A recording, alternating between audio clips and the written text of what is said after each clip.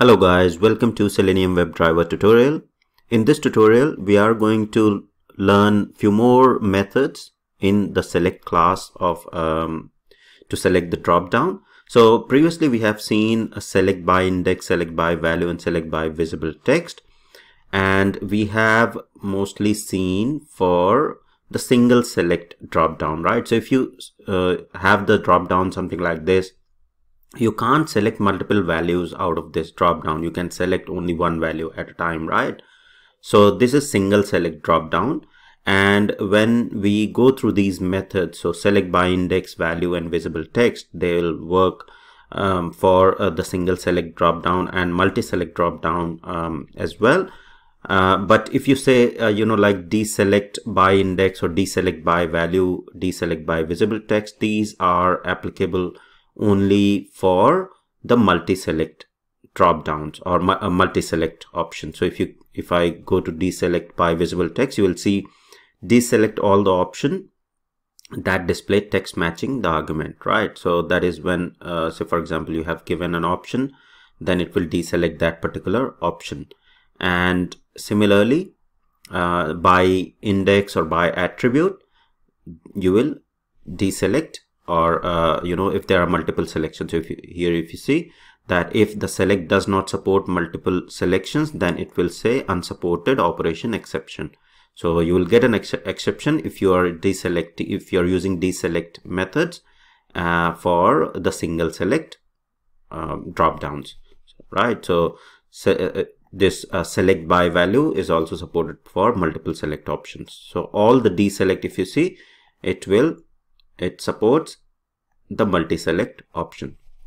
So what are multi-select options? So if I uh, go to this particular uh, website so Selenium Easy this is a demo website that I have picked. And here if you see this uh, multi-select list right? So here you can just press shift and select multiple items from this list okay and if I inspect this particular web element you will see that it is a select uh, you know uh, type and it is uh, it has multiple options okay?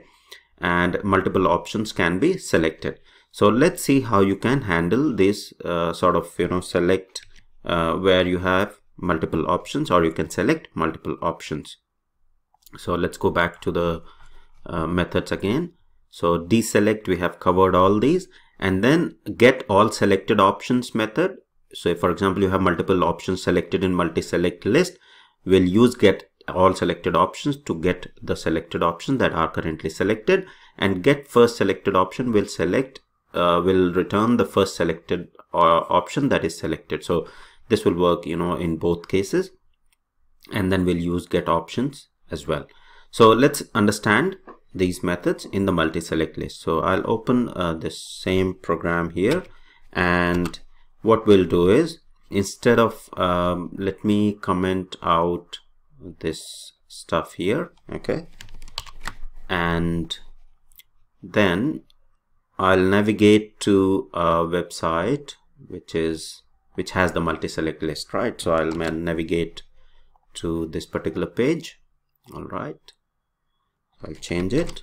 And then from here let me get the locator for this particular. So the id is multi-select on this page so we can use that right? So we'll simply use that id and let's use these lines here. And so we'll create a class. We'll identify the web element first okay with the id this time because this is the id for that and then create an object of the select class. So select is equal to new select and drop down here right? And then we'll simply here we'll change it to id sorry. Okay. Now we can call multi-select methods right? Because this is the this is the multi-select uh, list. So we can say um, first we can say select. Sorry. Select by index. Let's say select by uh, value. Okay we'll select multiple options. Okay. And so what is the value? Let's copy the value one or two value here and we'll say select by value and then we'll say select by index.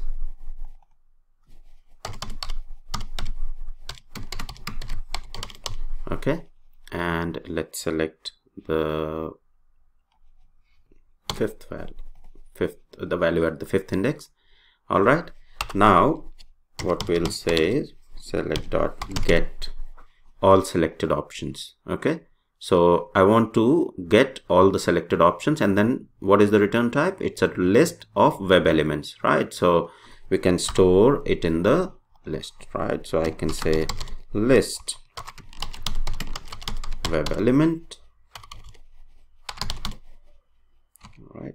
And store that I'll say all items and then store it.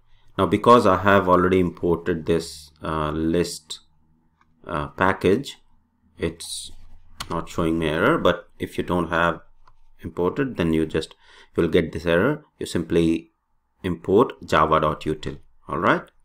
And now all the items that are selected so in this case two items have will be selected. So all these are stored in this list variable all items. So let's see what all methods are available. So all items say for example i want to get the so let's see if we scroll down so we'll say uh, size okay? So all items dot size. Let's print what all items are being selected okay?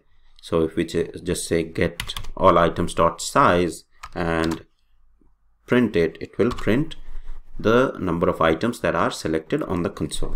Okay?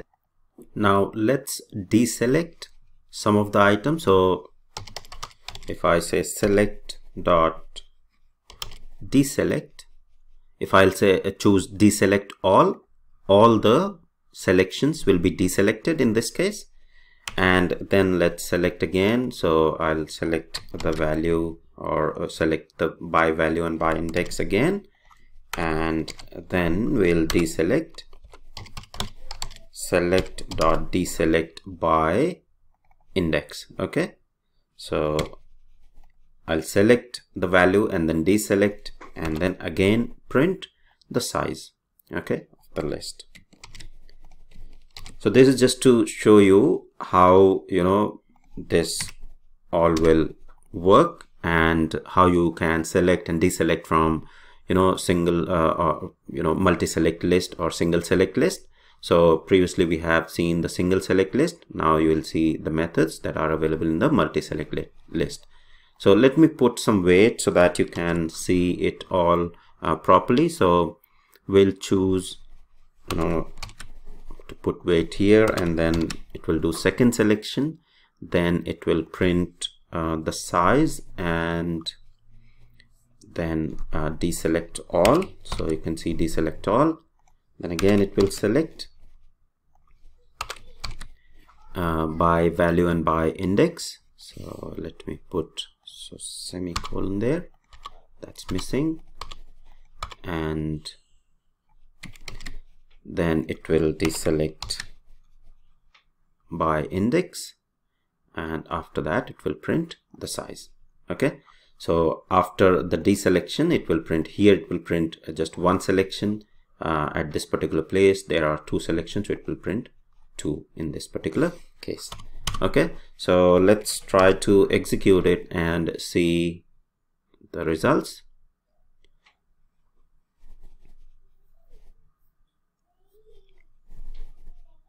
So if we open um, the demo page and maximize it.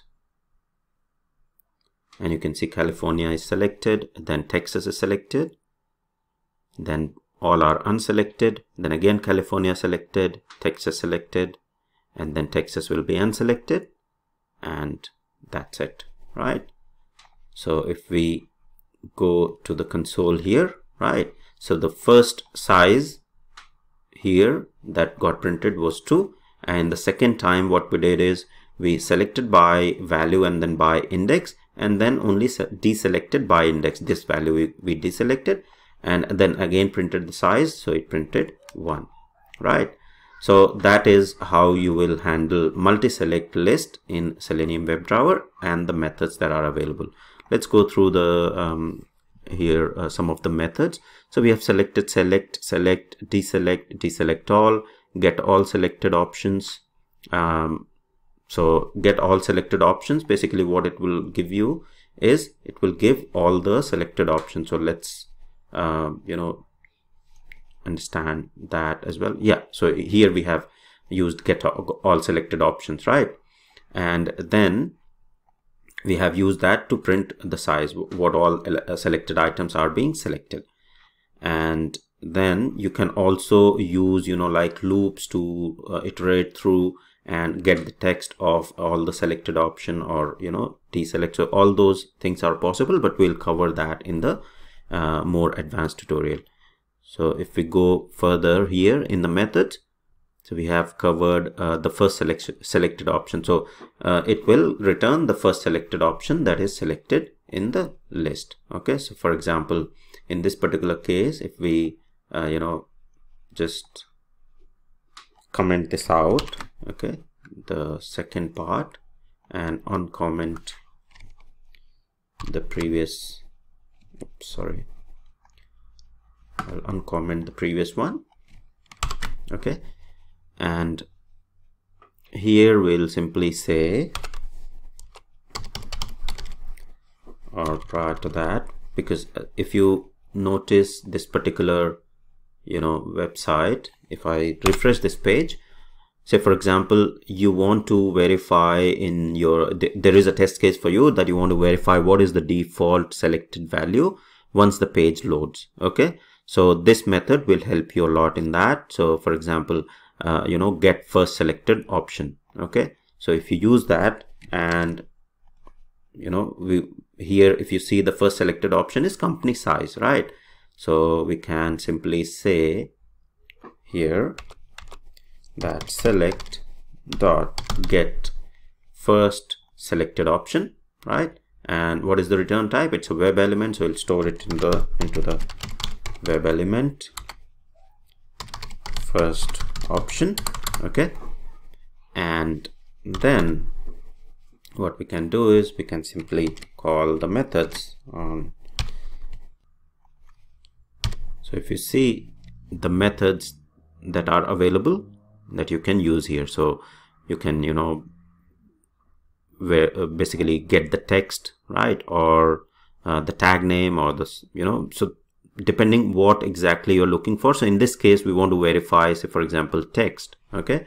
So I'll get the text of the first selected option and then we can simply, uh, you know, verify it against what we were expecting. So in this case, I'll simply print it and show you the text of the first option that is being selected. Okay. So let's run this and see the option that is being selected, the first option, and the text of the first option. Oh, sorry. Um, this will break because I have not changed the URL in this case, right? So I need to change the URL to sugar crm right? Because this is this code is specific to sugar crm so i'll change it and rerun it. Okay.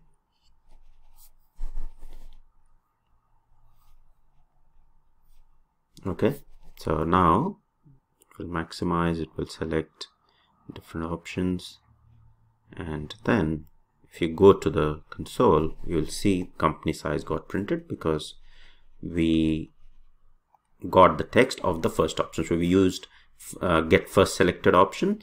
So as soon as the page got loaded, what is the first selected option? It got it and we got it printed and now you can you know use your logic in your test case to verify it against the actual uh, you know text that you want to verify.